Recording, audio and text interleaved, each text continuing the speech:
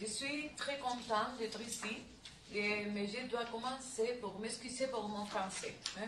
Je ne parle pas bien le français parce que c'est le français que j'ai appris à, à l'école. J'espère seulement que vous pouvez me comprendre. Et en second lieu, je vais remercier la professeure Elisa Lafontaine pour euh, sa invitation pour compartir quelques projets et quelques inquiétudes communes sur la recherche en didactique de l'oral. Euh, je vais parler sur la situation de l'enseignement de l'oral en Espagne.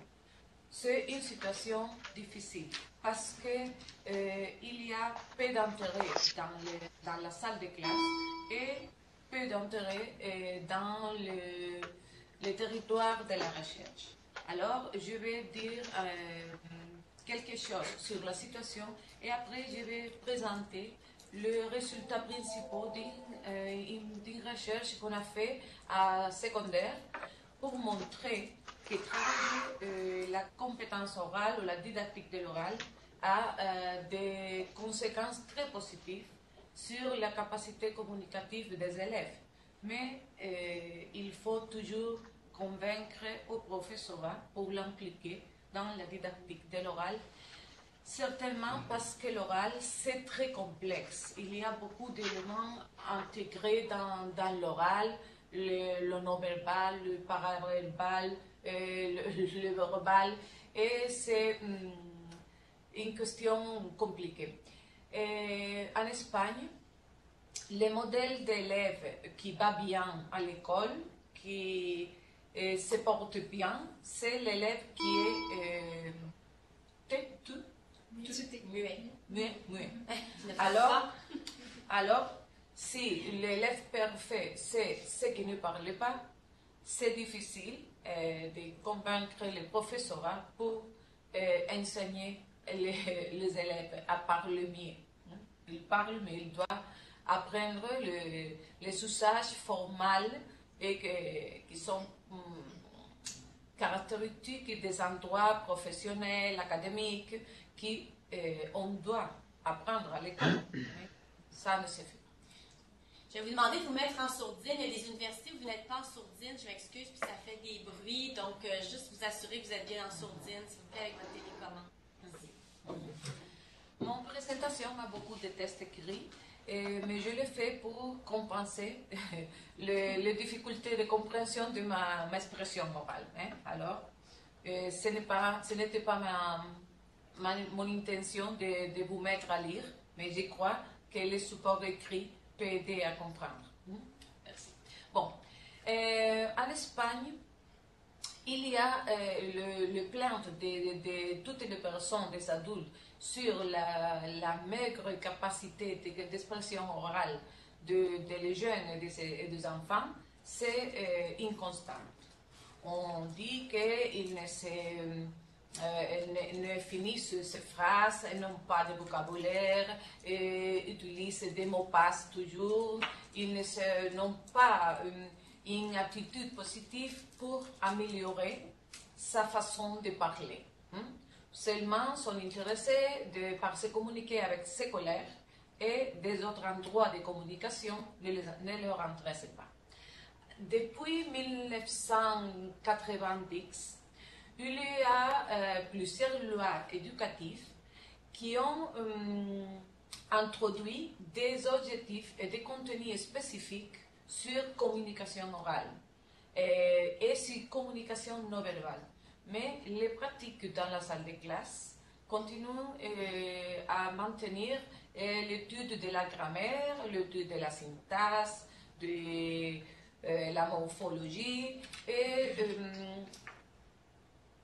ne pas fasse une place ou donne une place à la parole de l'élève. hein. Les étudiants ne veulent pas parler, mais les professeurs, les professeurs non plus. hein. Alors, c'est un cercle difficile de crasser. Et la conclusion est que l'enseignement des habiletés en communication orale a été négligé pendant beaucoup de temps dans les domaines scolaires, euh, en primaire et en secondaire. Et quels sont les principaux euh, faiblesses qui montrent les élèves? Au niveau phonique, manque d'expressivité dans l'intonation et une articulation qui n'est pas claire. Hein? Il prononce. Au niveau lexical et sémantique, usage trop fréquent des clichés, types de langage et mots passe-partout, la vie d'alcool juvénile, la pauvreté du vocabulaire, ainsi qu'un manque de précision dans son emploi. Dans le niveau morphosyntactique, euh, il euh, commettent euh, erreurs de construction, d'utilisation inadéquate de concordance. Hein. Dans le niveau textuel, il y a des fautes de cohérence, de cohésion, d'adéquation. Les idées sont incomplètes, elles ne sont pas associées, associées ils ne fondent pas ses opinions, ne fondamentent pas ses, opinions, et ils ne, ne, sont pas capables de sélectionner les registres appropriés par chaque endroit de, de communication, par chaque situation. Et du point de vue pragmatique, ce texte oral, oraux et écrit et ce sont aussi des textes inadéquats. Et il faut ajouter que les éléments affectifs et relatifs à l'attitude sont euh, aussi ce que vous, pouvez voir. Hein. ils ne, savent pas euh, demander son tour pour, pour intervenir, ils n'écoutent pas les, autres, ils sont un peu agressifs parce que le, les liaisons sociales entre eux sont différents à ceux des, adultes. Mm, ils ne, euh, ne, sont pas capables d'appliquer une euh, valoration critique à ce qu'ils écoutent ou à ce qu'ils lisent. Alors, euh, ils ne veulent, jamais parler en public, et masquer hein, plus, plus qu'avec ses collègues. C'est la situation vraiment. Alors,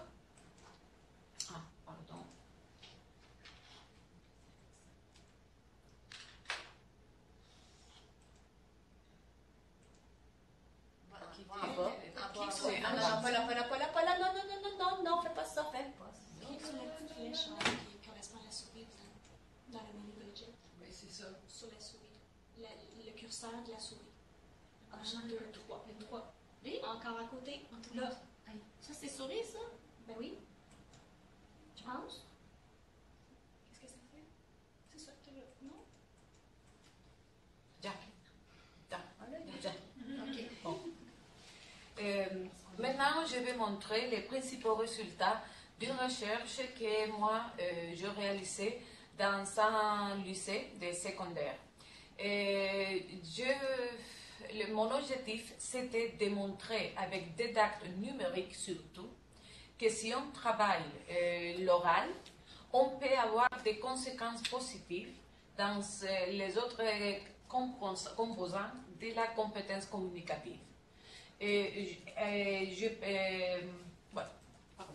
Et les deux objectifs, ce sont ce que je présente. Un, euh, euh, comprober, on peut dire comprober Compromis, vérifier. Vérifier si la compétence orale des élèves peut s'améliorer en travaillant de, façon systématique et, périodique, hein, pas sporadiquement, mhm. quelques activités, séquences didactiques, pour euh, apprendre à hum, se hum, développer en situation orale. Et en second lieu, on, voulait vérifier si euh, travailler l'oral peut contribuer à des répercussions sur d'autres aspects de compétences en communication linguistique. C'était les deux objectifs principaux. Hein. C'était une recherche quasi expérimentale. Pourquoi? Surtout parce que nous n'avons pas établi une assignation aléatoire de sujets. Hein? Nous, sommes allés au lycée et les groupes classes étaient déjà conformés. Alors, nous avons euh, choisi des, groupes d'un niveau de euh, seconde année de secondaire. Je crois que dans le système français, c'est l'équivalent à hum, quatrième. Hum? Ce n'est pas dans le système canadien. 13-14 hum? pour nous, c'est première secondaire. Première. En Espagne, c'est secondaire. Bon, alors, euh, variables que nous avons sélectionnées pour vérifier si travailler l'oral euh, peut, euh, a aucune influence sur euh, la variable dépendante? C'était orthographe, expression écrite, compréhension de l'écrite, grammaire et vocabulaire et lecture à voix haute. Pourquoi compréhension, euh, pardon, grammaire et vocabulaire et orthographe? Parce que les professorats euh, passent grand, une grande partie du temps de la classe à enseigner euh, grammaire, vocabulaire et orthographe. Alors, je pensais que si je pouvais montrer, hein, vérifier que l'orthographe, la grammaire et le vocabulaire améliorent si on travaille l'oral, ce serait plus facile de convaincre les professeurs pour travailler l'oral. Hein. C'est pour ça que ces variables un peu étranges sont, là.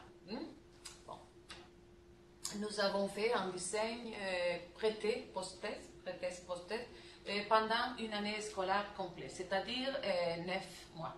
Hmm? Pendant cette année, euh, on a travaillé 13 secondes didactiques sur quelques genres, genres. Euh, raconter, exposer, décrire, se présenter, euh, opiner. euh, il y a. Alors, pour pouvoir l'intégrer dans le programme normal de la classe, on a fait hum, une adaptation au programme de la professeure. C'est-à-dire, quand elle travaillait les comptes, j'ai proposé une séquence didactique sur les comptes oraux. Quand elle travaillait la description, j'ai ajouté une séquence didactique sur euh, la description, mais euh, orale. C'est ainsi comment on a fait les, les programmes. La- les composants de la compétence orale que nous avons observés sont euh, les propriétés textuelles basiques, cohérence, cohésion, adéquation, correction. On a ajouté la pertinence en- à partir de les apportations de la maximas, comme on dit, maxime de Grace, et la courte aussi, parce que euh, c'est très important dans, l'oral, hein, des formules de présentation, euh, etc. Et aussi les attitudes des élèves euh, entre les, programmes, les activités de, de langue orale. Bon. Nous avons fait un- une comparaison entre un groupe de secondes qui a travaillé comme toujours et le groupe où j'ai fait les séquences didactiques pour, pour la langue orale. hein. Ça euh, a duré une année scolaire, c'est à seconde de ESO, de l'éducation secondaire, les élèves entre 13 et 14 ans. Et, toutes les variables euh, sont euh, évaluées à l'aide d'une échelle de 100 degrés, de l'U, le, plus bas, jusqu'à le 5, le plus élevé. Tous sont décrits dans les procédés d'évaluation pour faciliter transformer les résultats numériques et, pou- et pouvoir les présenter numériquement. hein. Parce qu'en Espagne, on est toujours beaucoup de valoration par le paradigme positiviste et, et quantitatif. Alors les chiffres sont les chiffres. Bon. Voilà le, les chiffres des sujets. Les groupes contrôle, euh, 30 sujets, l'expérimental, 28. De, de, garçons, 34 et filles, 24. Bon. Ici, on peut voir comme toutes les variables ont amélioré du pré-test à post-test. C'était l'espérable parce qu'il a passé presque une année et alors c'était une évolution normale. Mais c'est intéressant de pouvoir euh, analyser que les deux variables qui ont augmenté la différence entre les pré-tests et les post-tests sont euh, précisément ceux qui ont relation avec l'oral, la lecture à haute voix et l'expression orale, la cohérence orale, la cohésion, l'aptitude de, ne pas s'inhibir pour parler en public. hein. Surtout la lecture à haute voix. L'explication est que pour faire euh, la lecture à haute voix, les élèves imitaient les professeurs. Alors, c'était plus facile pour eux euh, de hum, lire comme lisaient les professeurs. hein. Hum, et dans l'expression orale, il, il devait, il devait improviser, créer son texte, et c'était un peu plus difficile pour eux. hein. Les autres variables euh, ont amélioré des pré des pré-tests au post-test, mais on peut voir, je le savais euh, presque con certitude, que l'orthographe et la grammaire et le vocabulaire n'ont pas augmenté d'une façon significative. Hein. C'est seulement un petit. Euh, on peut dire qu'on euh, travaille l'oral euh, ne contribue pour, à améliorer les, connaissances de la grammaire, du vocabulaire et de l'orthographe. L'amélioration la plus nette est notée dans les deux compétences directement liées au langage oral. L'évolution est moindre en grammaire et vocabulaire ainsi qu'en orthographe. L'expression écrite et la compréhension de l'écrit sont améliorées grâce au travail sur l'oral, c'est-à-dire le mécanisme qui on met en, fonctionnement pour comprendre le langage, euh, ce sont euh, tout pareil. Alors, si on travaille l'expression orale et la compréhension orale, on améliore hein, l'expression écrite et la compréhension de, de l'écrit. Bon. Si on compare le variable, on peut voir euh, quelle est la relation entre l'orthographe et l'expression orale. Hmm? Il y avait une différence plus grande dans les prétextes que s'il y a à côté et moindre dans les post-tests. Voilà l'évolution de la relation entre l'expression écrite et l'expression orale dans le prétexte et les post-tests on peut voir que dans les post-tests, les résultats sont plus cerca, plus près, plus près hein, que dans les euh, pré-tests. On peut voir aussi que dans les pré-tests, euh, les, hum, pardon, que les résultats d'expression orale ont, euh, sont plus grands qu'en expression écrite. La relation entre grammaire vocabulaire et expression orale, c'est très significatif. Il, y a peu d'avance en, grammaire et vocabulaire parce que. Et compréhension de l'écrit, expression orale, il y a une relation très intéressante. Hein. La compréhension de l'écrit était plus haute dans les prétextes et dans les post la différence, c'est euh, moindre. La lecture à, haute voix et l'expression orale, c'est ça la, relation. On peut voir par les couleurs. C'est l'analyse de la variance pour si vous voulez avoir des dates plus, plus concrètes. Mais euh, si nous euh, comparons hein, euh, les groupes expérimentaux avec le groupe contrôle, je seulement vais montrer ces dates parce que ce serait très long de présenter tous les résultats du groupe contrôle, on peut euh, voir que les, résultats dans toutes les variables du groupe expérimental se sont plus hautes. On a amélioré. Et on peut voir aussi que euh, les variables qui ont un résultat plus bas, ce sont grammaire et vocabulaire et l'orthographe. Toutes les variables améliorent, mais la, ces variables qui présentent différence avec significativité statistique sont euh, dans les post-tests, mais pas dans les pré-tests, orthographe, expression écrite et compréhension de l'écrit.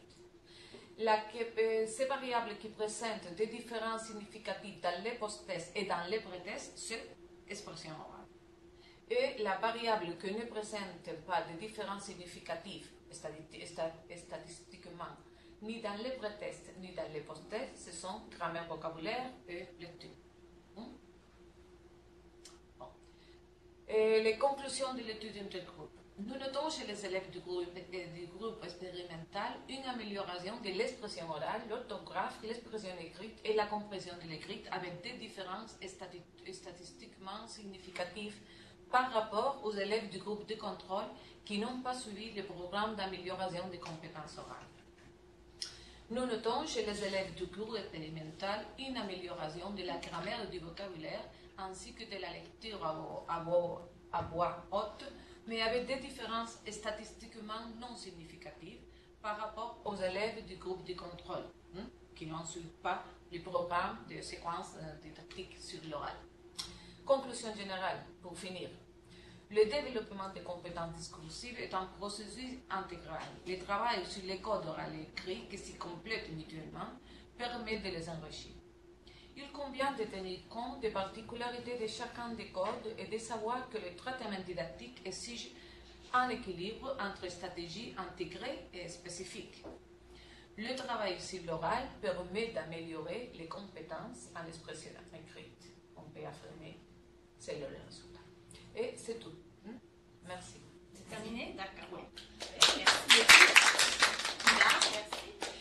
Avant de passer aux période de questions, on doit vous dire qu'il y a deux sites où on ne voit pas les gens, vos caméras sont trop hautes. Alors, je ne sais pas, on voit juste comme le haut des têtes, là. Alors, euh, levez la main pour me dire euh, qui est de l'UCAT. Alors, vous, on vous voit très bien. Qui est de l'UCAM? À Montréal? Alors vous, on vous voit bien. Qui est de Chicoutimi? Personne? Bah oui. Alors vous, là, on, ne vous voit pas bien. Il faudrait baisser votre caméra, s'il vous plaît. Université du Québec à Rimouski. Université du Québec à Rimouski. Si, alors nous, on voit très bien. Ben, c'est, salut Lisanne, c'est Kathleen en fait, mais c'est parce que comme ah! j'habite à Rimouski, c'est moi, je suis là. Très bien, bonjour Kathleen. Puis ensuite, il y, a, il y a Gatineau, il n'y a personne. Sherbrooke, la personne est partie. Mais il reste une seule université que je n'ai pas nommée et on ne vous voit pas. C'est pas nous. C'est laquelle? C'est nous? Non, c'est pas censé. C'est nous qu'on ne voit pas parce pas. Ah, d'accord. les bras. On ne se voit pas. OK, d'accord, c'est bon. Excusez-moi, c'est parce qu'il nous disait on, ne se verra pas. Très bien, ça va. Alors voilà, donc maintenant, je vais prendre euh, un 5 minutes de questions si vous en avez ou de commentaires par rapport à à la présentation de Mme Delgado et ensuite on passera à la prochaine. Alors je vous laisse la parole, je, vais animer cette période. Est-ce que vous avez des questions, des commentaires? N'oubliez pas, vous avez vos micros fermés de, de les ouvrir. Alors on a une question ici à Saint-Jérôme de Mme Farran. Donc vas-y, Joanne. Oui, euh, merci pour la présentation.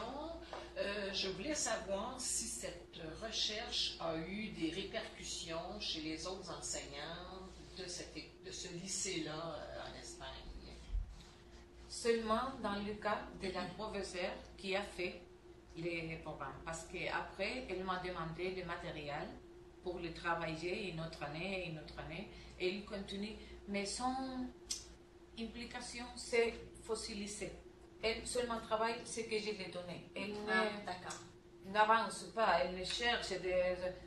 C'est bon, euh, c'est une attitude de, dire bon, j'ai vu que comme ça s'est fait, je peux les reproduire et alors je fais seulement ça. Sinon, elle aurait besoin d'accompagnement. Mm.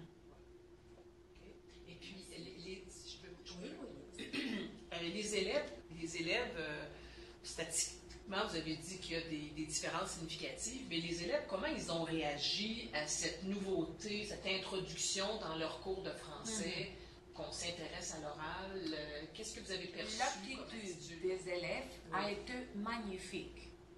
On a fait une, partie de l'investigation avec d'une façon qualitative, en parlant, euh, avec un enregistrant. Oui. Et quelques élèves disaient, euh, avant, je ne pensais pas si je parlais bien ou je ne parlais pas bien. Je parlais. Hein. Et j'ai pensé que je parlais bien. Hein. C'est comme ça que je peux, je peux euh, comprober que je ne sais pas bien parler. Et il y avait aussi des, des anecdotes de quelques élèves qui, quand ils devaient intervenir dans autre endroit du centre, euh, une assemblée, une réunion, ils regardez la professeure de je le dis bien. Alors l'attitude, hein, la prise de conscience de je ne sais pas parler et je dois hum, parler mien, ou je peux apprendre à parler mien, c'était pour moi le prix le plus raisonnable de l'investigation. Mm-hmm. Ça valait le coup. Ah. Si vous me permettez, je vais, je vais intervenir. C'est intéressant parce que, euh, ce, que ce que tu nous as expliqué, on le vit aussi au Québec, dans l'enseignement du français. Je pense que c'est commun à toutes les langues de travailler l'oral comme locuteur natif et non comme locuteur de langue seconde ou, ou, étrangère, où là, on est beaucoup dans la communication orale pour apprendre une langue. On connaît notre langue, mais là, maintenant, on la connaît, on la parle tous les jours, mais comment on nous enseigne à dépenser le fait de seulement parler tous les jours? Je pense que c'est une problématique qui semble commune partout. Euh, voir groupe témoin, groupe expérimental, toujours intéressant. Nous, on a une recherche dans laquelle on fait ça. Et euh, c'est fort intéressant de voir à quel, bon, ce qui a vraiment augmenté, puis comment ça s'est euh, différencié. Mais la question que j'avais, c'est est-ce que tu as documenté ce qu'ont fait euh, les groupes contrôle? Parce que tu dis les groupes contrôle, ils n'avaient pas d'oral, mais est-ce que tu sais ce que les enseignantes faisaient quand même pour pouvoir. C'était la même enseignante. Alors, ah, elle, avec un groupe, j'allais dans la salle de classe et je faisais des séquences sur l'oral. Et dans les groupes contrôle, elle, travaillait comme. Oui. Alors, c'était toi qui enseignais l'oral? Oui. D'accord. Alors, Parce que la professeure disait qu'elle ne savait pas si, si pouvait le faire bien, et alors ça ne sert pour, pour rien. Alors, c'est moi qui, qui, faisais. Quelquefois, euh, une activité ou une session, elle faisait euh, la dynamique, mais j'ai fait le matériel, j'ai fait le secret, j'ai laissé euh, photocopier parce que l'école ne, ne dépense de l'argent, pas du tout sur l'investigation. Tu modélisais l'enseignement. Oui, oui. Mais ce que tu dis, juste pour terminer, après on va passer à l'autre à l'autre, s'il n'y a pas d'autres questions, à l'autre présentation. Mais moi, ça vient beaucoup de me chercher parce que dans une recherche que je viens de terminer avec une collègue de l'Université de Montréal, dans laquelle on a enseigné explicitement deux ateliers d'oral pour faire des cercles de lecture, mm-hmm. ce n'est pas les enseignantes qui ont fait l'enseignement. Ce sont, c'était moi mm-hmm. comme chercheuse. Trois ans après, les enseignantes qu'on suit toujours là refont nos ateliers elles-mêmes, mais ne font pas rien d'autre. Et quand je leur demande, mais elles ont fait des débats, mais qu'est-ce que vous enseignez le débat? Ben non, on ne le fait pas. Mm-hmm. Alors que dans un autre projet dans lequel on travaille en ce moment, c'est l'enseignante qui a vraiment enseigné l'oral et elle le fait maintenant au quotidien. Alors je pense qu'il y a vraiment un effet, euh, l'effet de chercheur qui est là, ou de la personne externe qui enseigne. Après ça, je ne prends pas en charge pour aller plus loin. Et ça, c'est un. Bon, la professeure qui a, qui a fait les programmes avec moi, elle disait clairement je ne vais pas faire ce que j'ai jamais vu faire à personne parce que je ne suis pas sûre si je le fais bien, si ça sert à, rien. Alors, je préfère faire ce que j'ai déjà vu. Alors, il faut réfléchir sur euh, la, façon de former les, les professeurs. Si, si nous devons offrir plus de pratiques pour imiter. Hein? C'est ce que j'allais dire. Ça pose toujours la question de la formation des enseignants. Tout à fait. Euh, hum soit à l'aise avec ces techniques-là. Il faut aussi mhm. travailler sur la formation continue, là, en plus. Oui, tout à fait. Merci. Est-ce que vous avez d'autres questions, d'autres commentaires? Je rappelle qu'on aura une plénière à la fin.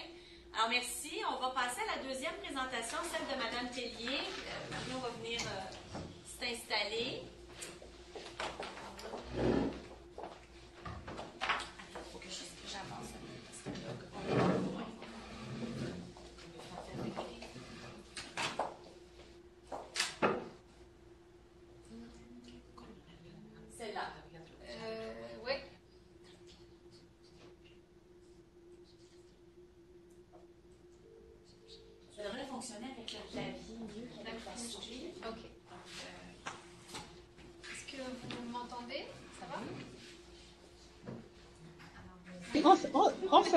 Déjà. Oui. On s'excuse à l'UCAT auprès de Madame Tellier qui va prendre la parole, mais on avait euh, un engagement et on ne pouvait suivre que la première conférence. Mais on vous remercie beaucoup. Merci. C'est pas grave. merci à vous. Merci, à vous d'être OK. Au revoir. Au revoir. Au revoir. Mettez votre euh, micro à sourdine, s'il vous plaît. Merci. On y va. OK. Donc, je vais, je vous remercie de m'accueillir. Alors c'est un autre accent que vous allez entendre, euh, français, mais pas marseillais quand même, bien que je vienne de l'université d'Aix-Marseille. Donc je suis Marion Tellier, je suis maître de conférence euh, dans l'université d'Aix-Marseille qui est dans le sud de la France. et je vais vous parler du corps de l'enseignant. Parce que l'enseignant a un corps. On l'oublie parfois, mais l'enseignant a un corps. Et ce n'est pas seulement une voix, ce n'est pas seulement un ensemble de connaissances, c'est aussi un corps et qu'il utilise justement pour transmettre ses connaissances, pour animer la classe, pour tout un tas de choses. Euh, je ne vais pas vous présenter une étude en particulier aujourd'hui, mais plutôt euh, un ensemble de réflexions et puis une espèce d'état de, l'art en fait de la question. Euh, donc vous lancez un petit peu des pistes de réflexion dans différentes directions et puis notamment sur le travail que je fais. Moi, je travaille beaucoup sur l'enseignement des langues étrangères, mais beaucoup de choses que je vais vous dire aujourd'hui sont transférables à l'enseignement en général et puis concernent aussi parfois des enseignements spécifiques d'autres matières que l'enseignement des langues étrangères. Donc, euh, trois parties. Euh, première partie, comment l'enseignant utilise son corps en classe. Donc, on va regarder un petit peu ça. Euh, une deuxième partie sur l'effet que peut avoir le corps de l'enseignant sur l'apprentissage. Et puis une troisième partie, on va un petit peu réfléchir, on en parlait à l'instant, hein, sur l'intégration de ce genre de réflexion à la formation des enseignants. Alors j'avais des vidéos, mais comme ça passe pas bien avec la diffusion à distance, on va se limiter aux photos. Donc comment l'enseignant utilise-t-il son corps? Alors on peut dire que l'enseignant est multimodal. Qu'est-ce qu'on entend par là? On va imaginer un enseignant de langue qui, par exemple, enseigne le français à des non-natifs, à des étrangers, et puis, il veut expliquer cette phrase-là. Elle a mal à la gorge. Il peut dire la phrase, il peut l'écrire au tableau, mais il peut aussi utiliser tout un tas de stratégies pour expliquer le sens sans avoir à traduire dans la langue maternelle des apprenants. Donc, par exemple, on peut utiliser un geste de la main, une expression faciale, et puis peut-être pointer au tableau qui renvoie au texte qui est en train d'être dit. Cet ensemble d'utilisation euh, de différentes modalités, orales, écrites, kinésiques, gestuelles, euh, constituent la multimodalité de l'enseignant. Alors, au niveau de l'origine de la recherche sur le corps de l'enseignant, au niveau de la recherche anglophone, c'est un objet d'étude, le corps de l'enseignant, depuis les années 70-80. C'est pas un hasard parce que à partir des années 60-70, c'est à peu près le moment où on voit émerger les recherches, ce que vous connaissez peut-être et qu'on appelle la communication non verbale. Euh, où on va s'intéresser à la façon dont le corps participe à la communication d'une manière générale. Donc, c'est pas un hasard si les recherches en éducation ont aussi intégré cet euh, aspect corporel ou non verbal, si on peut dire, j'aime pas trop le mot, mais euh, c'est comme ça qu'il est utilisé dans la littérature de l'époque, à l'intégrer à la recherche sur l'enseignement. Et puis, on va regarder des choses diverses, les postures de l'enseignant, les mimiques faciales, les gestes, mais aussi des manipulations d'objets. C'est aussi la période où, dans l'enseignement des langues, on utilise euh, du matériel audiovisuel. Hein. on va pointer vers des images, on va utiliser des enregistrements, etc. Donc il y a aussi euh, l'utilisation technique des choses. Première grande étude sur le sujet en 71, Grant and Grant Hennings, euh, The Teacher Moves, qui regarde un petit peu des enseignants, je crois que c'est des enseignantes de l'école primaire, et elles décrivent de manière très exhaustive l'utilisation du corps. C'est une première typologie fonctionnelle du corps de l'enseignant. Mais ce qui est un petit peu perturbant à lire, c'est qu'elles étudient tous les mouvements d'enseignant. Donc aussi bien des gestes des mains, des mimiques faciales, mais aussi euh, le fait de se gratter ou de jouer avec sa montre, des choses qui sont un peu moins didactiques, on va dire. Donc du coup, c'est peut-être un peu exhaustif et euh, qui intègre des choses qui ne sont pas forcément euh, fondamentales, je dirais. Au niveau de la recherche francophone, on a cette première étude en 79 de Pujade Renault et Zimmerman. Alors, ils ont fait, je ne sais pas si c'est toujours possible, je ne savais pas que ça l'était, une thèse collective, donc une thèse à deux. Voilà, très intense sur le, non-verbal dans la relation pédagogique. Il y en a un des deux qui a travaillé plutôt sur les les enseignements au primaire et l'autre au secondaire, avec des questionnaires sur l'enseignant, l'apprenant. Et Pujade Renault publie en 83 Le corps de l'enseignant dans la classe, où c'est un ensemble de recueils de paroles des enseignants sur leur corps. Donc comment est-ce qu'en fait ils vivent euh, le regard des apprenants sur leur corps? Vous savez que quand on est enseignant et qu'on arrive dans une classe, ben, on a pas mal de pères d'yeux braqués sur nous qui vont regarder, scruter le moindre détail qui ne va pas, la tache sur le chemisier ou le morceau de salade entre les dents. Euh, le corps est vraiment exposé. Et parfois, les enseignants le vivent plus ou moins bien. Donc, euh, c'est ce que montre entre autres cette étude, plutôt sociologique en fait et psychologique. Euh, une autre étude aussi s'intéresse à cette question-là dans les années 70. Et puis, progressivement, ces dernières années, il y a un focus sur les enseignants de langue, puisque jusqu'à présent, on était sur les enseignants en général. Euh, avec notamment un travail que j'ai pu faire et que Brahim Azawi, qui, a fait sa thèse avec moi, euh, a fait aussi sur les gestes manuels, donc les gestes des mains dans l'enseignement des langues.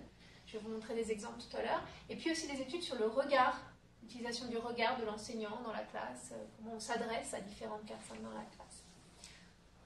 Bon, c'est vraiment pas du tout exhaustif, hein, mais c'était pour vous montrer un peu des choses d'une approche très générale à des approches beaucoup plus techniques. On est aussi là plus sur les gestes pédagogiques dans un autre cadre théorique que la communication non verbale, donc euh, plus en lien avec la parole. Alors, ce qui est intéressant aussi, avec, et notamment avec les enseignants de langue, je ne sais pas si c'est le cas des autres enseignants, c'est qu'ils conscientisent beaucoup leur gestuelle. Donc, nous, quand on parle, on fait tous des gestes, mais on n'est pas forcément capable de dire comment sont nos gestes, on n'en a pas conscience. Alors que les enseignants de langue, souvent, utilisent des gestes qu'ils ont conscientisé. Donc ils sont capables de témoigner sur certains de leurs gestes. Et là, c'était une vidéo, mais je vais vous expliquer. C'est euh, une formation d'enseignants euh, de français langue étrangère. Et les enseignants sont d'origine diverses. Et cette enseignante qui a bien violé là, qui fait des gestes, c'est une enseignante péruvienne et elle nous explique que pour enseigner la différence dans la prononciation du i et du u, elle utilise une technique avec des mains et un mouvement des lèvres expliquer i, u, ça. Et donc, elle est capable d'expliquer à des gens hein, comment elle euh, gestualise dans la classe euh, et comment elle s'en sert pédagogiquement. Ça ne veut pas dire qu'elle a conscience de tous ces gestes, mais il y en a certains qui sont vraiment utilisés comme des techniques pédagogiques. Alors, trois fonctions principales du geste euh, dans la classe. C'est des fonctions que j'ai élaborées pour l'enseignement des langues, mais je pense que ça doit être bon pour toutes les disciplines. Vous me direz ce que vous en pensez. Première fonction, ce sont les gestes qui servent à informer donc qui donne du contenu sur ce qu'on enseigne, qui donne des informations sur le contenu. Donc, euh, dans l'enseignement des langues, c'est souvent, pas toujours, mais c'est souvent l'explication du vocabulaire. Donc, par exemple, là, on a, c'est un binôme, une enseignante, celle qui fait des gestes, et puis une apprenante euh, étrangère qui apprend le français. Et l'enseignante est en train d'expliquer océan, ce que c'est qu'un océan, et elle commence par dire il y a la planète. Et en disant planète, elle fait ce geste-là elle, montre un peu. Voilà. Et ce qui est intéressant, c'est qu'elle fait une pause dans son discours pour pouvoir refaire le geste en silence. Pour montrer, la planète, ça va être un mot important dans mon explication. Je fais un geste pour bien l'illustrer, pour bien que l'apprenante prenne le temps d'assimiler euh, le geste. Autre exemple, et là on est sur l'enseignement à distance, donc c'est une étude que je suis en train de faire avec un étudiant. Euh, c'est des, interactions, euh, des cours particuliers en fait, entre euh, des futurs enseignants de français et des apprenants euh, irlandais qui apprennent le français. Et donc là, on a une enseignante en ligne, hein, ils sont sur, en visioconférence. Et on voit que même en visioconférence, alors que l'espace gestuel et la visibilité est un peu réduite, euh, elle mime balayer, et donc elle explique vraiment comment, ce qu'est ce, ce mot au lieu de traduire en anglais. Deuxième fonction, on est dans l'évaluation. Donc très souvent, quand un apprenant prend la parole, est en train de faire une phrase, donc ça peut être aussi euh, en langue maternelle, hein, euh, on peut vouloir l'encourager, lui donner de, la rétroaction en fait sur ce qu'il est en train de dire, sans l'interrompre. Donc pour ça, le geste va être très utile. Alors voilà, je ne peux pas vous montrer, c'est une vidéo, mais je qu'elle va partir. Donc là, par exemple, une enseignante qui euh, fait une petite mimique, elle va faire un geste un peu comme ça de la main pour dire hum, c'est pas tout à fait juste cette réponse. On peut aussi avoir euh, voilà, des, gestes un peu plus positifs, des sourires, des mouvements de tête, hein, qui vont encourager l'élève euh, et lui donner euh, voilà, de l'évaluation. C'est toujours aussi intéressant dans la classe ou dans, dans les conférences. Quand les gens froncent les sourcils, c'est moins beau. Troisième et dernière fonction, l'animation. Le geste peut servir à animer la classe. Alors qu'est-ce qu'on entend par animer la classe? C'est aussi bien euh, tout ce qui concerne les activités, donc démarrer, clore des activités. Là, c'est un, cours d'anglais pour des petits-enfants et l'enseignante va les faire chanter. Donc, elle donne le départ, elle, elle montre 1, 2, 3, mais elle parle pas, elle fait juste ces 3, 1, 2, 3, et les enfants se mettent à chanter. Euh, donc, ça, ça, donne le démarrage d'une activité. Ça peut être aussi euh, une consigne de ce type-là. Mettez-vous par groupe de deux, voilà, vous travaillez par deux, ou travaillez dans votre tête, ou euh, ça peut être aussi euh, interroger quelqu'un en le montrant du doigt, ou dire à quelqu'un de parler un peu moins fort. Tout ce qui va concerner en fait la gestion des interactions et des activités dans la classe. Ça peut se faire par la parole, par le geste et par les deux ensemble. Ça va toujours? Donc l'enseignant, c'est un vrai chef d'orchestre. On voit qu'il utilise son corps et sa voix euh, pour gérer souvent aussi différents interactants, différentes personnes dans la classe et différentes actions en même temps. Donc, très intéressante euh, illustration de la thèse de Brahim Azawi. Là, on a une enseignante qui euh, est face à des, allophones et elle vient de poser une question. Euh, il y a quelque chose écrit au tableau, alors peut-être qu'elle demande la signification d'un mot, je ne sais plus, et elle pointe au tableau. Et puis elle a posé sa question, elle garde son doigt vers le tableau, et là elle est en train d'écouter, de regarder une apprenante qui répond. Donc elle écoute cette personne. Et puis ensuite, ce qu'elle fait, c'est qu'elle pointe vers cette apprenante qui vient de répondre, qui s'appelle Mireille. Elle, pointe toujours au tableau pour faire référence à sa question. Et maintenant, avec le regard, elle regarde tout le monde dans la classe. Ce qu'elle est en train de dire là, c'est écouter tout le monde, ce que vient de dire Mireille, et comment c'est lié à la question que je viens de poser et ce qui est écrit au tableau. Donc vous voyez qu'elle fait là trois choses en même temps. Elle a plusieurs partenaires dans la classe. Et le corps va servir, le regard, les, les mains, etc., vont vraiment servir à gérer tout ça en même temps. Pour résumer, le geste pédagogique est utilisé par l'enseignant. Il est composé de mimiques faciales, de mimes, de postures, de regards, de gestes des mains. Il doit être assez euh, iconique, c'est-à-dire qu'il doit, il doit illustrer beaucoup, surtout quand on est dans une relation euh, avec des allophones qui ont besoin de comprendre la parole, mais aussi avec des jeunes enfants hein, en langue maternelle qui ne comprennent pas toujours tout euh, ce qui est dit. Donc il doit être assez illustratif. Les enseignants sont relativement conscients de cette gestuelle, même s'ils ne sont pas conscients de tout. Il y a trois fonctions, animer, informer, évaluer. Et ça permet de gérer plusieurs partenaires et plusieurs activités en même temps. Ok? C'était une partie un peu longue, je vais aller un peu plus vite sur... Comment je fais avec le temps? 13, minutes. Donc, ça c'est bien beau, ça c'est tout ce qui va concerner la classe, mais quel est l'effet sur l'apprentissage? Est-ce que ça aide vraiment les élèves à mieux comprendre, à mieux mémoriser, à être plus attentifs? Alors, je vais aller un, petit peu vite sur les études, mais voilà ce qu'on sait. Il y a pas mal d'études sur l'enseignement des concepts mathématiques et comment la gestuelle de l'enseignant, mais aussi les gestes produits par les apprenants, peuvent aider dans la compréhension ou la résolution d'équations mathématiques. Euh, je ne vais pas détailler là-dessus, mais euh, si ça vous intéresse, il y a des références qui sont super intéressantes. Martha Alibali, notamment, qui travaille beaucoup là-dessus aux États-Unis. Euh, et ils essayent aussi de former les enseignants à utiliser certains gestes de pointage pour résoudre des équations mathématiques. On sait aussi que ça aide dans la compréhension de la langue maternelle, notamment avec de jeunes enfants, qui comprennent mieux en classe lorsque l'enseignant fait des gestes. En langue étrangère, on sait aussi que le geste peut aider à la compréhension euh, des enfants et des adultes quand euh, l'enseignement se fait uniquement en langue étrangère, mais parfois, ça peut être un obstacle, parce que le geste n'est pas toujours bien compris. Donc, par exemple, des fois, des gestes d'adultes qui sont très abstraits ne sont pas toujours bien interprétés par les enfants. Alors, je donne un exemple d'une étude que j'ai faite. Nous, en France, je ne sais pas si vous l'utilisez aussi, on fait ce geste-là pour dire boire. Donc, ça, c'est la bouteille, le goulot, et puis on boit comme ça. Ça, des enfants de 5 ans, pour eux, c'est sucer son pouce parce qu'ils ne voient pas une bouteille là. Ils voient un pouce près de la bouche. Dans leur univers, c'est sucer son pouce. Donc on voit que si j'enseigne une langue étrangère à des enfants et que je, mime comme ça, ça ne va pas forcément les aider. Si je fais ça, par contre, ça marche très bien. Donc euh, parfois, il ne faut pas aller vers des gestes trop abstraits. Parce que le développement de l'abstraction se fait plus tardivement. Autre obstacle possible, la culture. Certains gestes sont marqués culturellement. Euh, ce qu'on appelle des emblèmes, hein, des, formes figées de gestes, qui sont comme des expressions idiomatiques, si vous voulez, gestuelles, et qui d'une culture à l'autre ne sont pas bien comprises. Donc par exemple, euh, dans une étude qu'on avait faite, des, on a interrogé des enseignants de français partout dans le monde, et il y en avait qui nous avaient raconté un petit peu des, événements comme ça. Donc il y en avait un qui enseignait au Mozambique, un français qui enseignait le français au Mozambique, et qui faisait souvent en classe Allez, allez, allez, on y va, on y va, qui est très français, je pense. Et les élèves étaient complètement choqués parce que ça, au Mozambique, c'est une invitation à avoir des relations sexuelles. Oh my God. Donc, ça peut arriver, euh, des petits problèmes comme ça. Euh, mais c'est aussi une très belle opportunité d'expliquer euh, que les gestes ne sont pas toujours les mêmes d'une culture à l'autre. En plus, c'est des ensembles finis de gestes, ces gestes culturels, donc on peut les enseigner. Il y a des dictionnaires des gestes, donc on peut les apprendre. Ça fait partie de la culture, ça fait partie des éléments de la, communication. Mais ça, c'est pas tous les gestes, hein, c'est vraiment certains gestes. Donc ça, c'était pour la compréhension. Au niveau de la mémorisation, euh, vous savez peut-être que plus on code une information de différentes façons dans la mémoire, mieux elle a de chances d'être mémorisée. Et donc, euh, la mémoire motrice peut être très intéressante dans l'apprentissage, chez les enfants, mais je pense aussi chez les adultes, euh, et que le geste peut avoir un effet sur la mémorisation. Donc, on le sait en langue maternelle, il y a des études expérimentales qui montrent que des adultes mémorisent mieux, par exemple, des phrases en langue maternelle s'ils ont vu des gestes qui accompagnaient ces phrases, mais aussi en langue étrangère.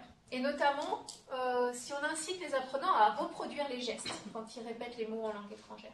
Donc, par exemple, dans cette étude-là, il y avait deux groupes d'enfants qui devaient apprendre des, mots en langue étrangère. Il y avait un groupe d'enfants qui apprenait ces mots associés à des images. Donc, ils devaient répéter les, mots et les associer à des images. Et d'autres qui devaient les associer à des gestes, et notamment reproduire les gestes. Donc là, on avait euh, les ciseaux, comme ça.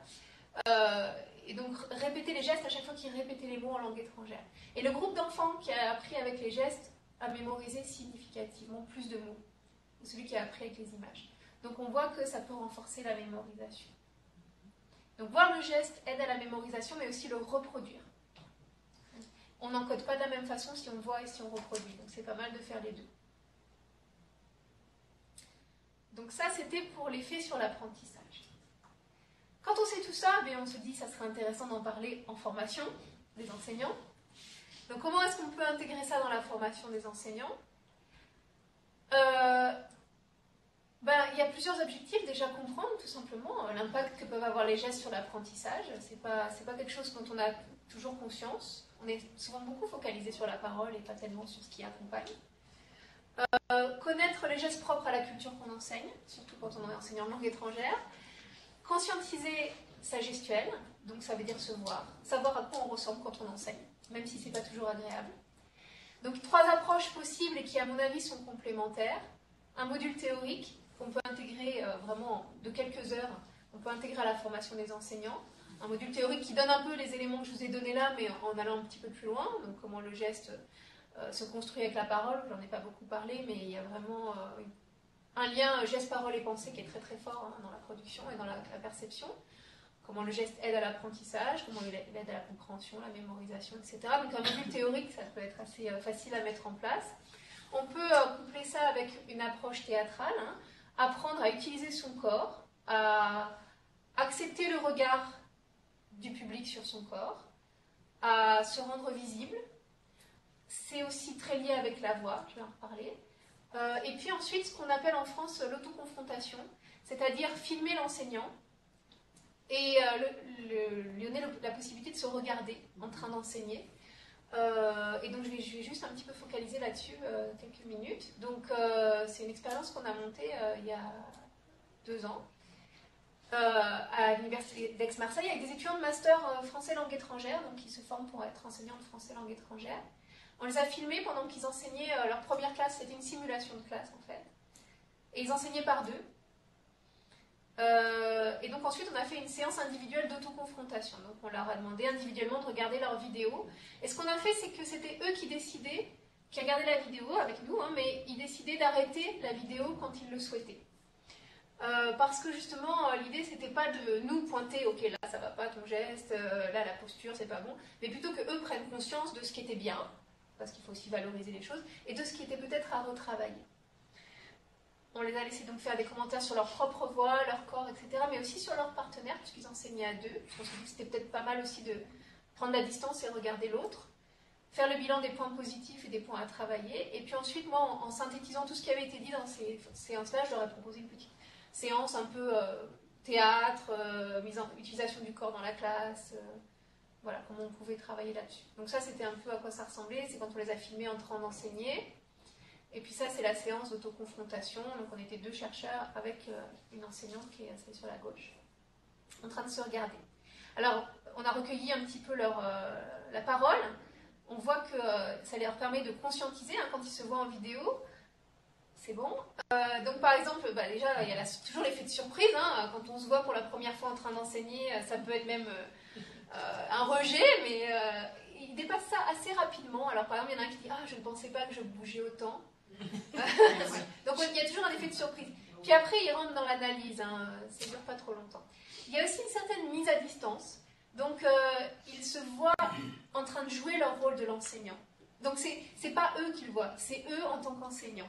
Et alors c'est assez rigolo parce qu'une une, une, étudiante a dit ça en se regardant.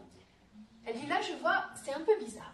Euh, ben, je regarde ce professeur, je vois qu'il est un peu stressé, il ne se sent pas très à l'aise. Puis évidemment elle dit, je parle de moi à la troisième personne. Donc on voit qu'aussi il y a une mise à distance euh, peut-être nécessaire hein, euh, pour pouvoir justement réfléchir sur son corps. Une réflexion sur l'action, notamment, certains se disent Ah ben voilà, j'ai expliqué ça comme ça, j'aurais peut-être dû faire autrement. Donc par exemple, il y en a un qui dit J'aurais pu, il devait dire souligner et entourer, c'est des consignes. Et il dit J'aurais pu dire souligner, entourer et accompagner mes consignes d'un geste pour permettre à des apprenants de langue étrangère de mieux comprendre les consignes. Donc, ce que vous devez retenir de mon intervention aujourd'hui, euh, ben, le corps de l'enseignant, on voit que c'est un sujet de la recherche, c'est un objet de formation. Les deux s'alimentent beaucoup. Hein. Ça fait partie de ce que Francine Sicurel appelle l'agir professoral, qui elle-même définit comme les actions verbales et non verbales de l'enseignant. Donc euh, c'est important de prendre ensemble l'ensemble. Les fonctions du corps de l'enseignant dans la classe sont multiples. Il y a un effet sur l'attention, la compréhension, la mémorisation. Donc c'est pas mal d'être un enseignant multimodal, hein, d'avoir recours aux gestes, aux postures, aux mimiques faciales, utiliser son regard, mais aussi des images, des illustrations, hein, d'autres modalités qui peuvent compléter la parole. C'est important d'intégrer dans la formation pour développer la conscientisation. Mon idée, ça n'a jamais été de dire, il faut dire à des enseignants de faire ce geste-là et pas celui-là. C'est pas ça, hein. là on perd tout le naturel. Mais plutôt de dire, voilà, regardez-vous, regardez un petit peu... Euh, comment vous utilisez votre corps, qu'est-ce qu'on peut peut-être améliorer, qu'est-ce que, vous trouvez bien aussi dans l'utilisation de votre corps. Et c'est à eux de construire aussi leur stratégie.